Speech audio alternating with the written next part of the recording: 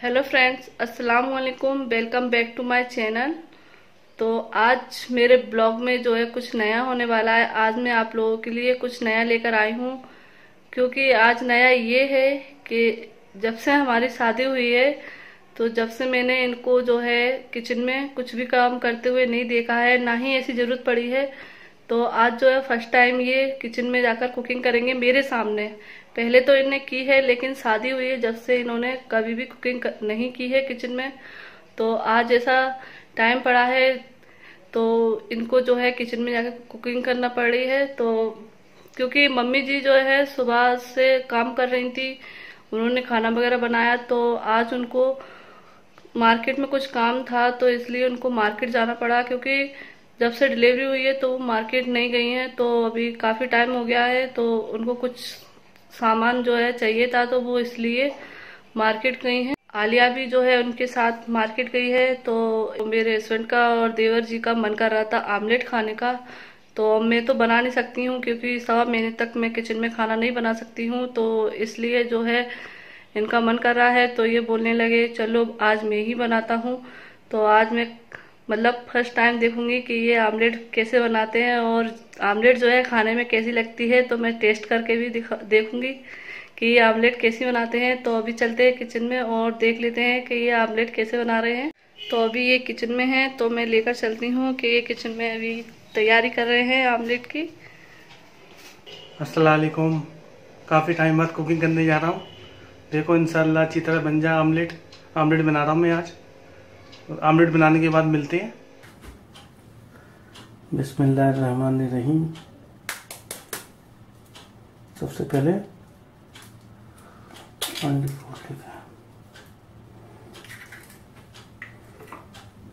Four egg हैं।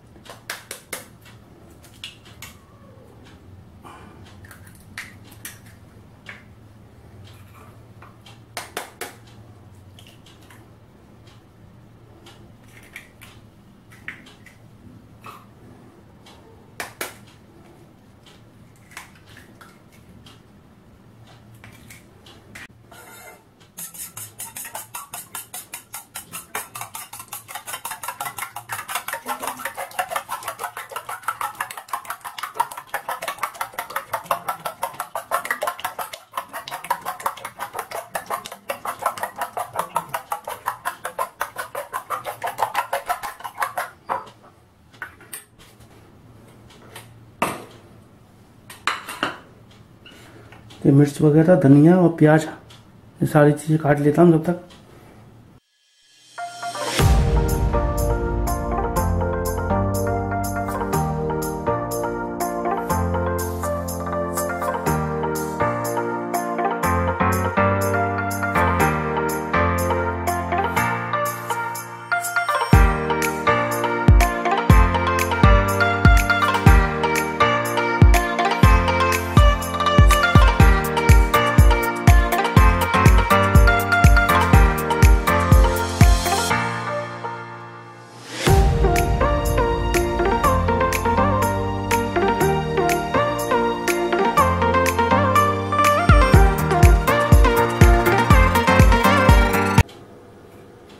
ये सारी चीज़ें कट चुकी है।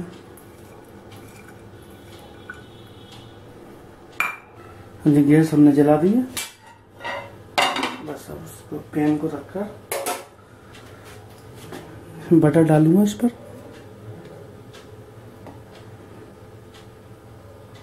इसको मेल्ट होने देंगे। और ये मेल्ट हो चुका है। और तो थोड़ा सा इसको फेंट के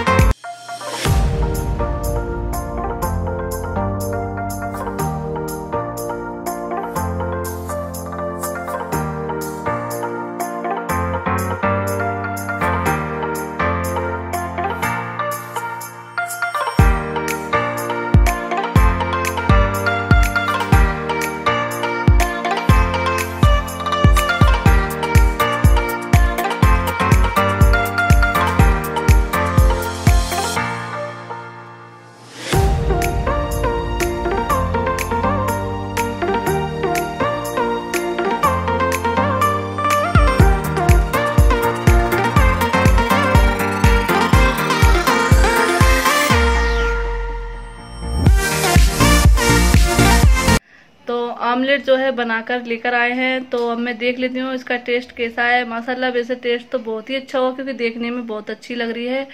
तो अभी मैं इसको चेक कर लेती हूँ और मैं आपको बताती हूँ कि आमलेट जो है कैसी बनी है। तो ये पकी तो बिल्कुल अच्छी तरीके से है और मैं इसको खाकर देखती हूँ कि ये टेस्ट में भी अच्छी है। तो आमलेट तो जो है बहुत ही टेस्टी बनी है। तो अभी तक जो है आमलेट बनाना भूले नहीं है। आमलेट बन चुकी है और हमने खा, हम लोगों ने खा भी ली है।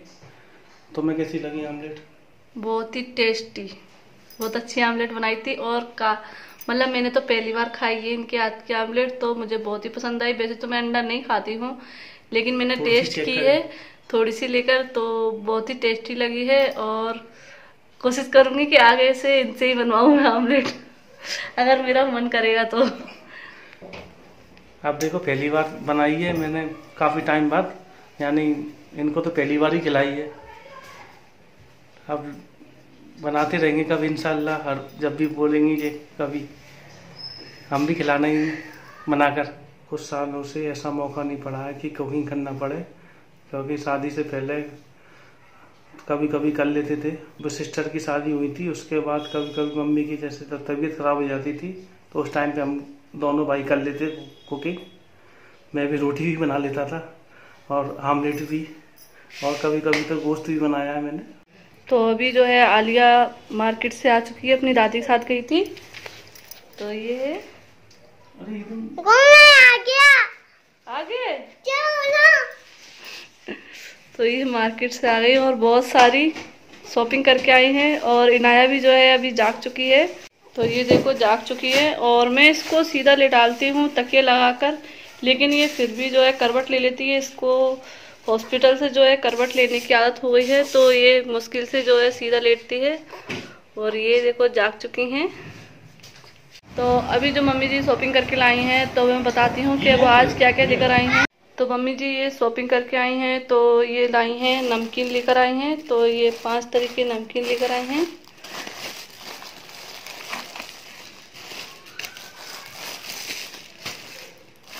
और ये है पार्ले जी बिस्कुट और ये मखाने। बेटू की चो चोखोवा और ये है मसूर की दाल, एरियल, और ये बड़ा वाला टोस्ट का पैकेट। गुड़। और इसमें है अचार। आमले का अचार लेकर आई हैं मम्मी जी? और ये लेकर आई हैं कंगन का सेट। ये बहुत ही अच्छा लग रहा है। रेड कलर का। और ये लाइटर लेकर आई हैं। बेटू आपने आइसक्रीम खा ली? और आपसे एक सवाल है। आप इनाया को अपने खिलौने शेयर करोगी? हाँ। सही से बताओ बोलो। इनाया को अपने साथ खिलाओगी? हाँ। अच्छा दोस्ती कर लोगी इनाया से? हाँ। अच्छा आपको इनाया कैसी लगती है? अच्छी लगती है ए? हाँ। बेबी है हाँ। आप गोद में लेते हो उसको हाँ। अच्छा रोती है क्या वो नहीं रोता है हाँ। अच्छा तो आप उसको ऊपर ले जाना रूम में हाँ। और खिलौनों से खिलाना ठीक है हाँ। ओके और आप उसको आइसक्रीम भी खिलाओगे हाँ। अच्छा ठीक है आप सब चीज़ शेयर करोगे नाया के साथ? हाँ शेयर कर दूँगी सब्सक्राइब कर दूँगी। लाइक कर लेंगे। बाय बाय बाय बाय तो अब मैं कुछ व्यूअर्स के कमेंट के जवाब देने जा रही हूँ। तो सबसे पहले जो व्यूअर्स के बर्थडे है तो उनका मैं विश कर देती हूँ। I wish you very happy birthday my sister Sana Khan. और आज नगमा अली जी की बेटी का बर्थडे है तो I wish you happy birthday Alia कल सिद्रा सारिम जी के बच्चे का बर्थडे है, लेकिन मुझे पता नहीं है बेबी लड़की है या लड़का, और ना ही उन्होंने नाम बताया है, लेकिन मैं उन्हें विश कर देती हूँ।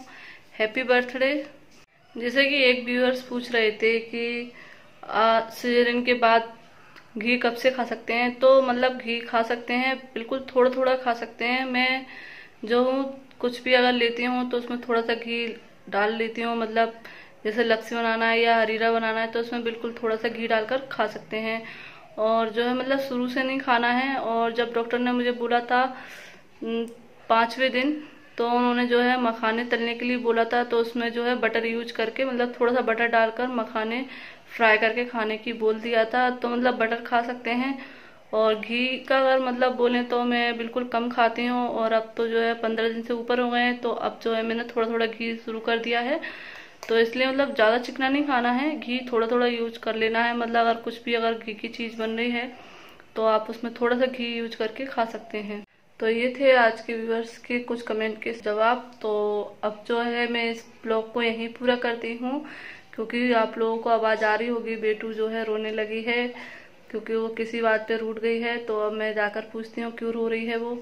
और मैं इस ब्लॉग को यहीं पूरा करती हूँ। अगर आप लोगों को आज का ब्लॉग पसंद आया हो तो प्लीज़ लाइक करें, शेयर करें। अगर आप लोग नए हैं तो सब्सक्राइब ज़रूर कर लें और बेल का बटन क्लिक ज़रूर करें, जिससे आपको नई वीडियो की नोटिफिकेशन मिल सके। तो मिलते हैं नेक्स्ट ब्लॉग में। खुदा हाफिज़।